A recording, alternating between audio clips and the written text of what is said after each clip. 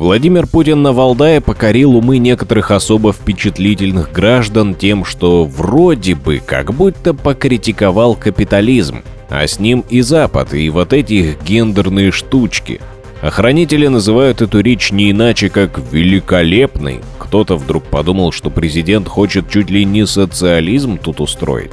Но на деле все как всегда. Слова одни, дела другие – если кто-то ждал и надеялся, то никаких левых поворотов не было. Снимайте розовые очки и кладите обратно на полку. Своим экспертным мнением о Валдае и о том, куда же мы идем, с накануне ТВ поделился журналист, автор агитации и пропаганды Константин Семин.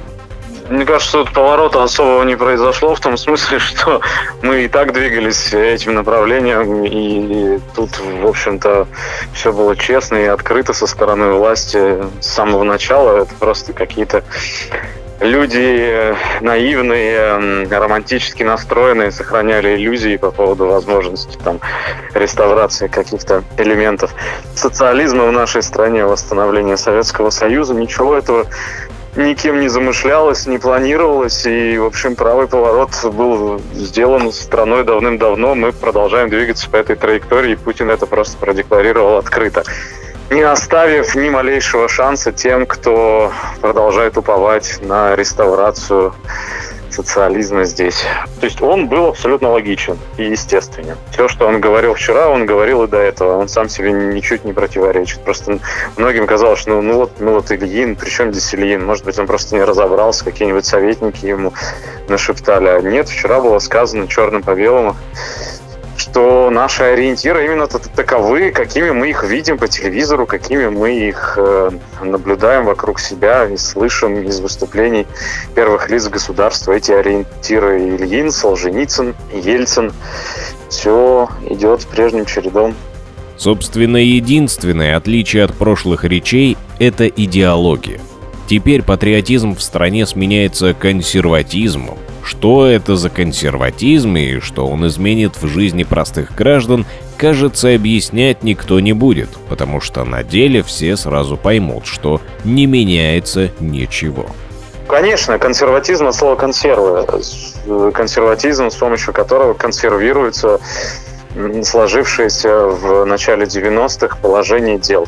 И так же, как э, во многих других странах, где вот такой консерватизм проповедуют, кстати, обратите внимание, что сейчас, например, это же касается не только России. В действительности все просто вот эти вещи, на которые пытаются отвлечь внимание, о которых говорил Путин, переписывание полов, перепутывание мальчиков с девочками, это все на самом деле дымовая завеса, способ отвлечь внимание людей от главного вопроса, от вопроса отношений труда и капитала, от вопроса о том, кому принадлежат средства производства и кто на кого работает. Это делали капиталисты испокон веку. Они своим рабочим начинали рассказывать сказки про то, что вот за границей живут злые, плохие, нехорошие капиталисты, глобалисты, Ротшильды, масоны, которые хотят вас подчинить и пограбить. Поэтому вы, пожалуйста, сплотитесь вокруг наших домашних капиталистов, защищающих ваш традиционный семейный, консервативный, турецкий, немецкий, испанский, португальский уклад.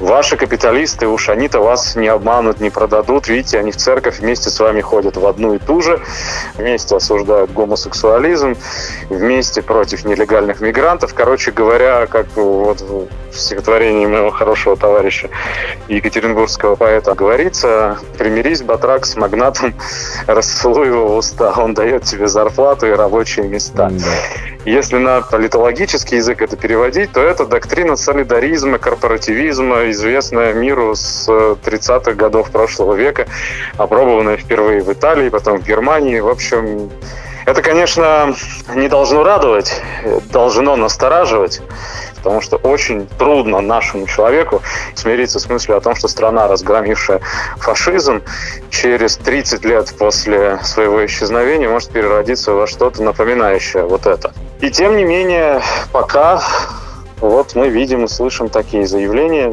Единственное, что нужно признать, они абсолютно предсказуемые, они последовательны. Все это было понятно и ранее, но об этом мы догадывались, а теперь нам сообщили об этом с первых уст официально. Подписывайтесь на канал Накануне ТВ и распространяйте.